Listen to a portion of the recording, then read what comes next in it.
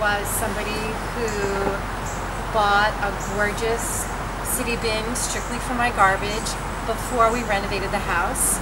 And it was probably one of the first things that we did here that um, made me feel like this home's my own.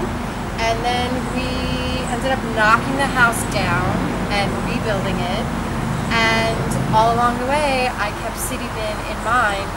And then when it was time this area happen, um, you guys were so great about working with my landscape architect, and I mean, there's not a lot of space here, but I think that for me it's just smart, and um, it makes me really happy, not just because of the aesthetics, but because there is no maintenance.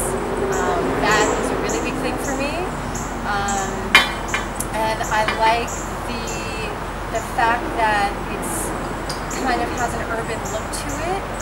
Um, I just think it's cool. I just think it's cool and it like, makes a lot of sense. And I just know that I will always have a relationship with CITIBIN because there's always something I can do to make this house just a little.